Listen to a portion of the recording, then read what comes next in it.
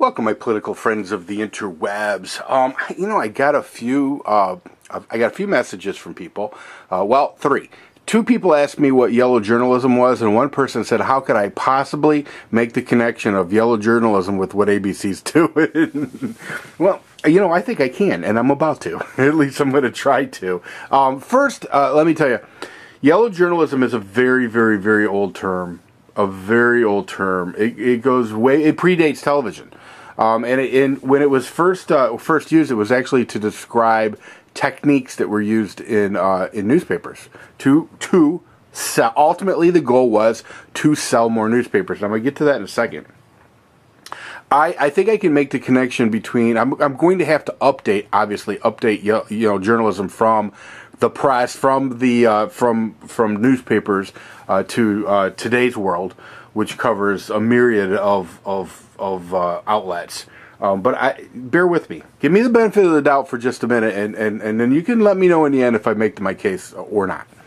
Okay, first of all, for those for for the two of you who did not know what yellow journalism is, um, I'm at the Wikipedia page for that. Uh, I encourage you to check it out. Uh, go to Wikipedia. To, uh, just type in yellow journalism in, in Google, and you'll you'll uh, you'll find it easy enough. It's an interesting read. Um, it goes back to the days of Pulitzer versus Hearst. Yeah, we're talking that long ago, you know.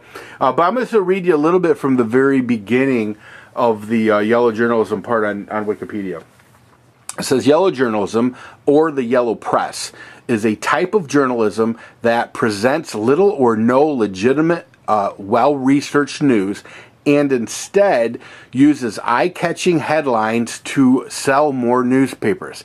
Techniques may include exaggerations of news events, scandal mongering, or sensationalism. By extension, the term yellow journalism is used today as a projective to decry any journalism that treats news in an unprofessional or unethical fashion. Okay, I'm not going to go any further than that, but there's more that that is worth reading.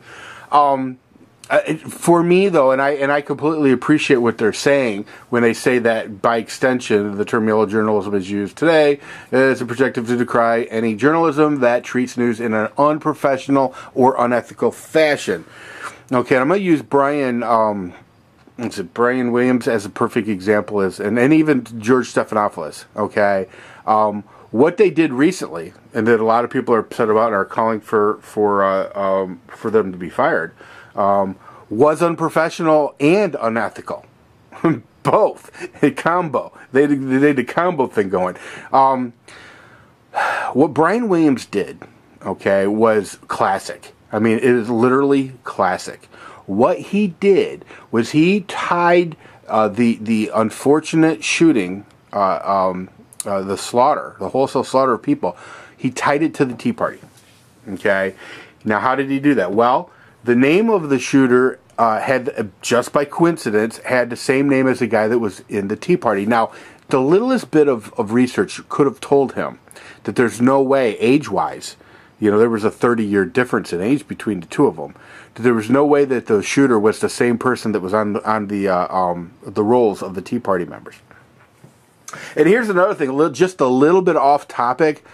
How the hell does media outlets have uh, have roll uh, roll lists of who's uh, in the Tea Party?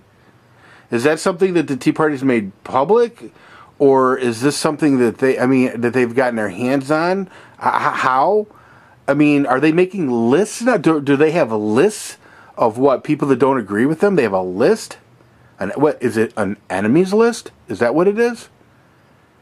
I just find it kind of ironic that in, in a fairly short period of time, they can start uh, spewing names off of a list of Tea Party members. I mean, you know, kind of interesting. What do you think? Let me know in the comment section because that kind of bothered me a little bit. Now, to go back to what he was doing, okay, because because clearly, I, I believe that he knew. Uh, I, I believe that he absolutely knew that that was not the same person. Okay, I really do believe that. Um, but I think what he was doing is just a classic technique, and you'll find this in in courtroom uh, a lot of courtroom drama. Because you'll have either a prosecutor or a defense attorney place a witness onto the stand, and that that either well depending on if it's uh, uh which if it's opposing counsel, but that that person will be instructed um, before they ever get to the stand to use certain words like murderer or rapist or embezzler or whatever to describe the person who's uh, defending himself, to, to, to, to describe that person. Now, what will happen is the opposing counsel will object and the judge will uh, will chastise the witness not to use uh, those words describing the uh, the defendant, and then he will he will instruct the jury to disregard what the witness said. well, you can't undo it. You can't undo it, and it's classic, and it happens all the time. It's a psychological, it's a form of psychological uh, uh, gamesmanship, is what it is, or psychops, or psychological warfare, however you want to put it. It's psychology 101. So you know, in, in the in the midst of a horrific shooting, okay, you've you got to insert the words tea and party. okay, you got to insert the the tea party into that horrible horrible event.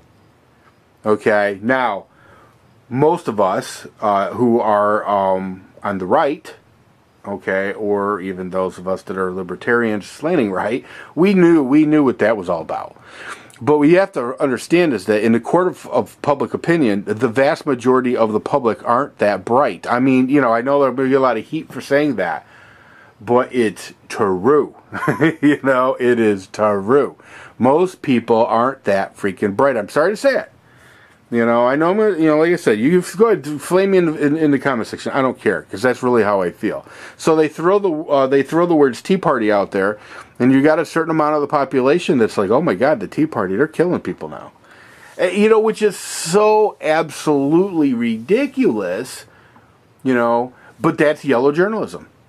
That is yellow journalism you know? And and and what's what's what's worse about it in today's world it's not necessarily about uh, selling more advertising. Okay back in the old days it was about selling newspapers because that that was a big part of their income was actually selling newspapers. Um, so the actual the actual selling of the newspaper. Not necessarily as much with the advertising although that was another uh, revenue stream. In today's world the, the the money's not in selling the newspaper. It's in it, the money primarily is in advertising. And truthfully, the money's not there at all anymore because newspapers are going out of business. And the same goes for ABC, NBC, CBS, uh, and the whole lot of them.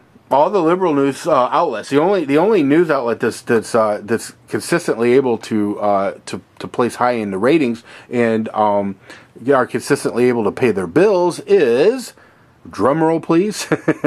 We all know it is. Fox news. You know? Um, but here's the thing. To these ideologues that are part of this left-wing journalism today these yellow journalists it's not really about sensationalism or unprofessionalism in order to sell because clearly they're not worried about the money end of it. Okay? It's it's about furthering their left-wing agenda. I've said it.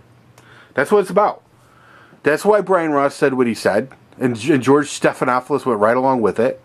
It's about furthering their left wing agenda. Now, in this particular case, it was about gun control. It was about gun laws. It was. About, that's why when you hear things like um, them using terms that, that you know, Haas, uh, Haas uh, uh, USMC, um, he, he he alluded to it. You know, they use terms like 30 or 40 round clip it doesn't matter to them that they're being factually inaccurate with what they're talking about. It's all about playing into people's minds. You know, 40 round clip, 100 round clip, being able to shoot fast without ever reloading. You know, slaughter. I mean, they use words like slaughter and assault weapon, and these are things that are extremely unprofessional and unethical because they're not none of them true or factually correct but they don't care. They don't care because it furthers their agenda. It's as simple as that. And that is yellow journalism 101 in today's world. Now, if you were to confront them about this, oh no, well that was an error that was not meant to. Uh, we, we we we we were erred. We're sorry. And you know, Brian Ross went on his uh, uh, Twitter feed I believe it was his Twitter feed. It might have been his his Facebook or his blog, one of those, and he apologized. Okay, whoop de shit. Who watches that? Who who reads his blog? Who you know? I mean, you know, he, the damage was done on air, but you don't see him going on air and saying, "Hey, I screwed up." Now, with so many people calling for his resignation or calling for his head on a block, and calling for him to be fired, uh, I guess I wouldn't be real surprised if they dragged him out there and said, "Oops." But I guarantee you that apology wouldn't last more than five seconds, and then they'd be on to some other sensationalist story. You know, this the, the thing that saddens me the most about this this this yellow journalism is that the media has been was entrusted um, from the earliest times in, in our country's development uh, from our forefathers. They were entrusted with a sacred duty. And that's why they have the first that's why the first amendment is the freedom of speech freedom of the press. That's the first amendment. That's you know and our forefathers understood that. You have to be free.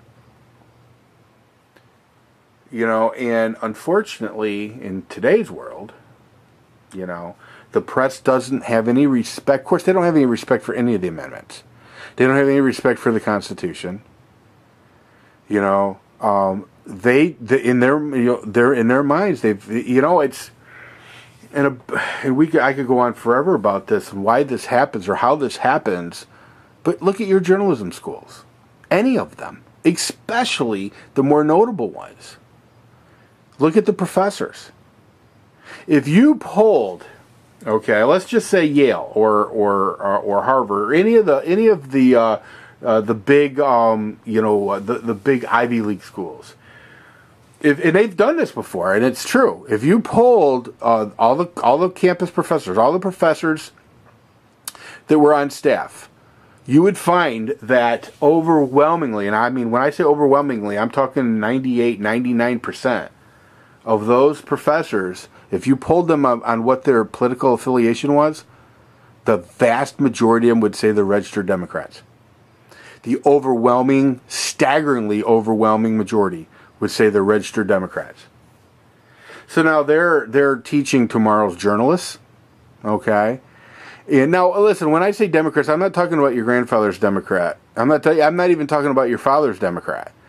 I'm talking about a left-wing nut job socialist. I, I mean, we're talking uh, uh, Lenin, we're talking Engels, we're talking about hardcore communist types and they're teaching tomorrow's journalists. They're teaching the the the journalists that will be uh, forming the news. And when I say forming, see, journalists shouldn't be forming news. That's what they do today, but they should be forming news. They should be reporting news. But you know. So when you have an overwhelming majority of leftists, a hardcore leftists that are teaching the journalists uh, of tomorrow, this is what you get. This is exactly what you get. That's exactly what's been going on in our journalism schools for 40 years now. Literally, for 40 years now. You know, ever since World War II. I mean, in World War II, the journalists were on board with uh, with our country. They they were on board with our country. In today's world, if if you if if you could magically transform us back to uh, 1941 the journalists uh, would be uh, uh, of that day. Well, we're totally for us, but the, let's say you, you could you could take our journalists and transplant them to 1941. That's kind of where I'm going with this. They would be doing everything they could possibly do to undermine us. There would be every other newspaper calling for Roosevelt's resignation. There would be um, oh my it would be absolutely endless. It would be absolutely endless. I can only imagine uh, uh, editorial after editorial after editorial praising adolf hitler praising tojo. I can i can only imagine how that would be. Making it impossible. Oh and oh my god. I mean if they were got wind that we had an atomic weapon in development they'd have leaked that you know i don't know I mean, I could go on and on and on and on about this, but what's the point? anyway, so that's yellow journalism. Hopefully, you're on board with me. Let me know in the comment section if you think I'm right or wrong. And uh, that's all I got for you. See ya.